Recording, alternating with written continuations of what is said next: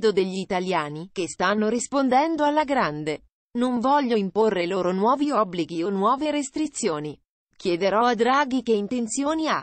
Lo ha detto il leader della Lega, Matteo Salvini, al termine del Consiglio federale del partito, rispondendo a chi gli chiedeva se fosse favorevole all'estesione dell'obbligo di Green Pass agli statali. I governatori hanno ragione, ha poi spiegato Salvini dicono che pensare al Green Pass per il trasporto pubblico locale è una follia e quindi mi auguro che nessuno voglia complicare la vita a milioni di italiani perché ci sono ancora milioni di italiani che per scelta o impossibilità non sono coperti. Gli italiani che non hanno bisogno di obblighi, di multe o di paure.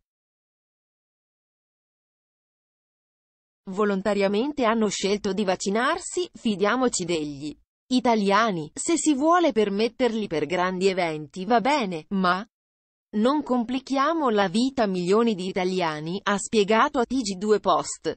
Siamo tra i paesi più vaccinati del mondo, ha aggiunto, fidiamoci degli italiani.